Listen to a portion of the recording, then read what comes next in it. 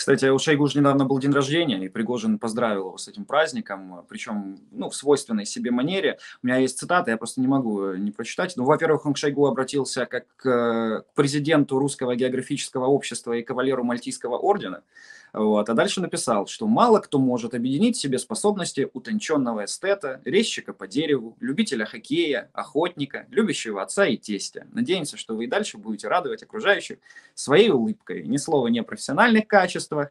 Э, вот как вы считаете, может ли, ну вот все накаляется и накаляется, Пригожин переходит новые какие-то красные линии, которые ему ставили, ну, негласно, насколько я понимаю. Может ли такое произойти, что пока Пригожин еще находится в Бахмуте, пока он оттуда своих наемников еще не, не вывел, в него может прилететь какой-то образный снаряд, пуля с подписью, с любовью от Шойгу, например?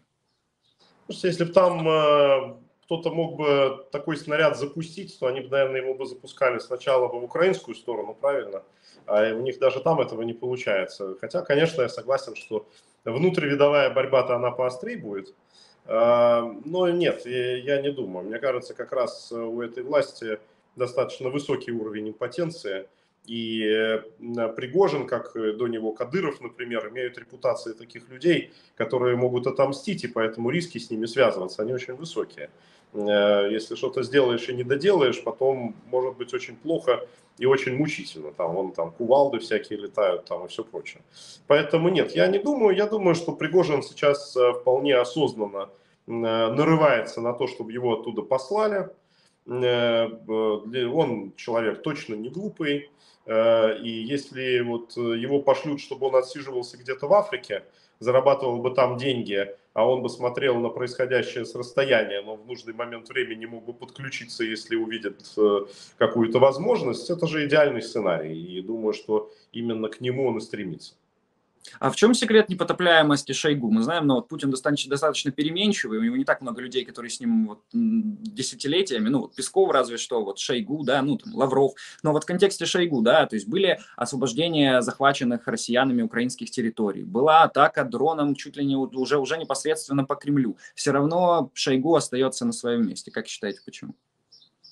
Ну, да, смотрите, я бы не преувеличивал, что они там очень долго, вместе, потому что Шойгу как раз представитель ельцинской элиты, который очень долго для Путина был чужим. И он очень-очень постепенно подбирался ближе, ближе, ближе, и в конечном итоге своим нынешним статусом он обязан э, Ковальчукам, клану Ковальчуков, э, конкретно Юрию Ковальчуку, который там на Шойгу впрямую зарабатывает, и вот он поставил целый ряд там ключевых людей – вокруг Путина. Кириенко к, этому же, к этой же группе относится, ну и вот и Шойгу оттуда же. Но думаю, что, во-первых, Шойгу довольно много знает про Путина, потому что они там вместе отдыхали в Тыве, а это такое место для Путина, такой ретрит тайный, где можно там, значит, какими-то забавами позаниматься. Э, вот, э, в том числе эротического характера, да, то есть, соответственно, Шойгу про них знает. Э, вот. Во-вторых, Шойгу человек довольно популярный в обществе. Он, он харизматичный, россияне к нему хорошо относятся, поэтому, ну, опять, значит, от него избавляться нужно думать про возможные политические последствия, нужно как-то с ними их отработать и так далее. Ну, а в-третьих, Путин Путину некого поставить на эту должность. Те люди, которые вокруг него есть, они либо ничем не лучше, э, а у Шойгу все-таки репутация это неплохая как э, менеджер, она, хотя, на мой взгляд, абсолютно пиаровская, вот, искусственно созданная, но, тем не менее, какой-то такой флер человека, который умеет строить э, структуры, он э, у него есть. Э, поставить кого-то лучше, дисбалансировать всю ситуацию, создать риски, а Путин этого всего очень не любит. Поэтому я думаю, что ну, вот непосредственно Шойгу на данный момент не так уж много чего угрожает. Скорее генералов э, могут и дальше тусовать. А вот сам Шойгу, ну как-то его убрать, это еще и подписаться перед обществом о том, что ну все, совсем все плохо. Не могу не спросить, разопнут меня в комментариях. Э, есть инсайды про эротическое времяпрепровождение Путина? Я многократно делился с вашим каналом. Свечку я не держал, знаете, то есть вот, но, но да, слухов много разных ходит, и вот один из наиболее интересных слухов, он связан именно с э, сибирскими э, делами. Помните, когда там, значит, это он там на лошадке снимался с голым торсом, там, значит, и так далее. А, мы вспомнили, я вспомнил удар дроном по Кремлю. Вы тоже как-то заявляли в начале мая о том, что знаете, кто это сделал, знаете этих людей. Мы сказали, пока не время, мол, рассказывать. Сейчас, может, уже время? Ну, они сами скажут, когда сочтут правильно. Э, вы это точно узнаете. Окей, давайте будем двигаться дальше. Вот э, вы сказали о том, что политическая и силовая позиция должна как-то каким-то образом э, взаимодействовать. И э, вот после военного поражения России мы понимаем, что должен пройти какой-то процесс. И, наверное, готовиться к нему уже можно сейчас и с помощью, там, не знаю, и лидеров других государств. Как вы вообще видите этот механизм, каким он может быть? Потому что если не провести определенные реформы, какие-то не выстроить новую какую-то систему безопасности, то просто те, кто придут в России к власти в последующем, в будущем, они ведь могут развязывать новые войны. Ну, знаете, я всегда считал и продолжаю считать, что для перемен, во-первых, должно быть две компоненты. Это вот силовая и политическая. То есть, соответственно, должна быть политическая альтернатива, на которую можно переключиться, потому что на данный момент ее не существует. Да? Если не Путин, то кот. Да? То есть вот, э, нужно обязательно продемонстрировать, кто может быть э, соответствующей политической альтернативой. Плюс к этому, конечно, я считаю, что правильно осуществлять серьезную системную работу с действующими элитами, э, чтобы они дезертировали и переходили на сторону добра. А для этого, конечно, ключевой элемент – это санкционная политиков, который должен быть не только кнут, но должен быть и пряник. Опять-таки, да, то есть э, стадо баранов надо гнать к определенным воротам, куда а, они должны пройти, и они должны видеть, что там эти ворота есть. Потому что если вокруг только загонщики, какие-то псы лают, да, то есть там стреляют электрошокеры, вокруг, то, конечно, они просто там вот стоят вот в такой позиции и э, ждут, когда что-то произойдет само собой. Э, гнать надо, это, это, это совершенно точно. Э, и э, вот э, по санкциям процесс идет медленно, но он идет в эту сторону. Во всяком случае, у Украины есть более-менее четкая позиция, что должны делать люди для выхода из-под санкций, но прецедентов, к сожалению, очень мало. Они, они опять-таки есть, но они, они очень немногочисленные, не системные, не распиаренные, э, потому что мне кажется, что и украинское руководство, и мировые лидеры, они боятся зашквара, да, то есть они боятся, что их начнут критиковать там в торговле индульгенциями. Никто не хочет с этими противными русскими олигархами вставать рядом, и это их очень сильно сдерживает. Э, а с точки зрения политической альтернативы, тут ситуация попроще. Э, вот создан съезд народных депутатов, это теневой российский парламент, где находятся депутаты. Их э, сейчас уже там около 80, вот скорее всего сейчас подрастет еще там на десяток э, человек будет следующий съезд в июне, где люди пишут вот эти самые законы. Они пишут новую конституцию, они пишут новые базовые законы, то есть они пишут новые правила игры, которые понятны, четкие, они написаны в виде документов, это не абстрактные пожелания, там хотим свободу регионам и парламентскую республику, а это конкретные механизмы. То есть парламентская республика знает, что это значит, э, как проходят выборы, когда, э, кого избирают, по каким правилам. То есть если мы говорим о том, что мы хотим наказать виновных, то вот закон иллюстрации, в нем написано, да, то есть, соответственно, кто, как, почему, то есть какие последствия, что надо сделать, э, чтобы избежать вот этого наказания. Вот вся эта законодательная база, она готовится, принимается, и следующий шаг, который должен последовать, это, конечно, шаг признания.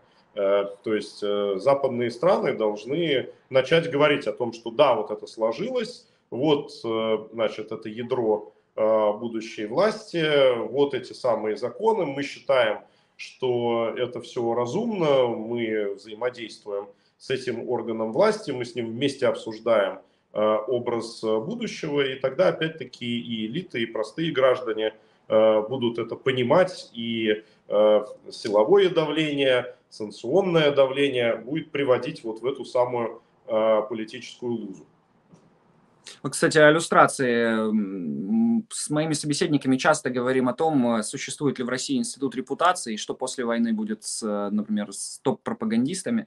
В Украине этот процесс прошел э, некоторые из тех, кто продвигал э, там политику того же Медведчука, они остались в профессии, но большинство все-таки как бы было выкинуто на свалку истории. А вот если говорить о России, вот, например, пропагандист вот Красовский, который в свое время был демократом, либералом, отстаивал права человека, теперь, ну, ранее он призывал уже убивать украинских детей, теперь вот предложил выкрасть Кирилла Буданова, главу украинской разведки, и повесить его в России на потеху, так сказать, гражданам. Вот э, как вы считаете, какое вообще, какое будущее, ну, в вашем, в вашей картине мира э, должно настичь вот как раз тех, кто был пособником э, режима Путина в медиаполе? И вообще, вот действительно, нет ли вероятности того, что они после проигрыша России просто переобуются и будут еще вопросы, там, не знаю, нам с вами задавать о том, а что вы сделали для того, чтобы Путин в свое время ушел? Ну, то, что они будут пытаться переобуться, это стопроцентная вероятность, это, это не может быть, а это точно такие попытки будут осуществлять. Именно поэтому э, ту концепцию иллюстрации, которую сейчас принял съезд э, народных депутатов, она дает на это четкий ответ, э, что иллюстрация проводится не только по принципам там, должностей и принадлежности к определенным э, структурам, но она происходит и по принципу э, публичных высказываний людей. Э, и, конечно, все люди, которые призывали к войне и призывали к совершению военных преступлений, они очевидным образом, ну, по крайней мере, под иллюстрацию, так они точно попадают. Дальше э, э, может быть и больше, просто скамейка в Гаге, она, значит, там тоже не резиновая, и туда очень многих не, не запихнешь, но то, что главарей, вот, главного редактора Фелькиша Биобахтер мы точно туда отправим. То есть поэтому руководители госканалов телевизионных, которые все это крышевали, они точно туда поедут. Э, ну а рядовым э, вот таким людям, ну им будет запрет на участие в политической жизни, им будет запрет на публичную деятельность вообще, то есть вот выступать хоть в блогах, хоть в СМИ, они больше не смогут. Об этом соответствующее решение уже сейчас принято. На финал о пропагандистах и том же Кирилле Буданове, о котором я только что вспомнил, вот после его слова о том, что украинская разведка будет доставать э, всех врагов Украины из числа россиян, вне зависимости от того, где они будут находиться, в какой стране, в любой точке земного шара, вот пропагандистка Симоньян заявила, что получила бандероль со взрывчаткой. Об этом он написал у себя в Телеграме. Правда, буквально через, там, в течение часа, образно говоря, она опубликовала новый пост и написала «все в порядке», там, в середине просто секс-игрушка из Китая. А, вроде как э, штрих просто забавный, но как симптом, как вы считаете, вот на фоне покушений на, там, э, на Прилепина, на Татарского, есть страх непосредственный, особенно после заявлений Буданова, вот у пропагандистов, у опять-таки, тех пособников режима, которых, ну, как мы видим, достать-то на самом деле можно, вне зависимости от того, в России они или нет. Ну, страх есть еще какой. И, значит, то, что они паникуют э, в своей среде, ну, это постоянно видно, они про это пишут там. Кто-то спать не может, потому что там сверху кто-то ходит и бомбу закладывает якобы, то есть, ну, еще что-то там. Ну, э, такие вещи постоянно э, всплывают, э, и это, собственно, и есть э, главный результат всех э, этих акций, потому что э, то, что им предлагает Путин, это деньги и безопасность. Ну, деньги мы еще пока отнять не можем, это в будущем, но безопасность можем. И это, соответственно, очень правильно, поэтому я считаю, что надо тех партизан, которые занимаются этой работой внутри России, точно поддерживать. Что там с точки зрения украинской разведки и так далее. Ну, я периодически общаюсь с людьми в форме, и, соответственно, я вижу их мечту после войны выстроить аналог Массада, который бы доставал военных преступников по всему миру, где бы они ни прятались.